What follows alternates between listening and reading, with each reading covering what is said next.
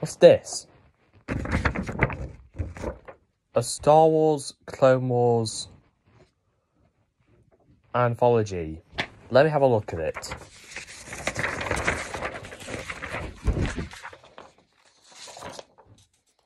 What is this? Why is it all in CGI? I've been asked to do a CGI Clone Wars movie or something? You know what? I'll throw that into the fire then, since I'm doing a rant on this crappy 2008 movie. So let's do it.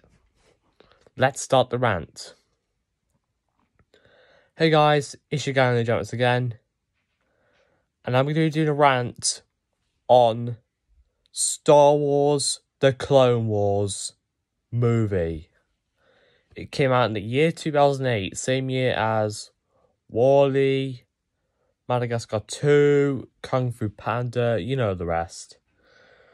So the basic plot is we have Luke Skywalker and he's trying to fight um the um clones and Yoda and his army, which I can't remember the name. And he tried to stop. They both tried to stop them, and they tried to uh, to save the day. And that is basically blah blah blah. I that's basically what the plot is. I'm gonna say, guys,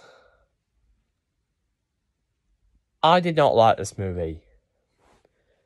Yeah, I did not like this movie.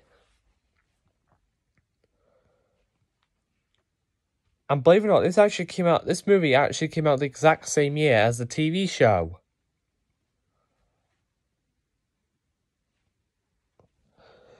And why did they make a CGI Star Wars movie?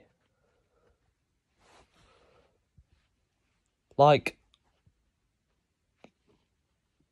Warner Brothers have fucked up with the Star Wars films. Star Wars The Force Awakens is a much better Star Wars movie than this crap. That's watching us run on Star Wars The Clone Wars movie and bye.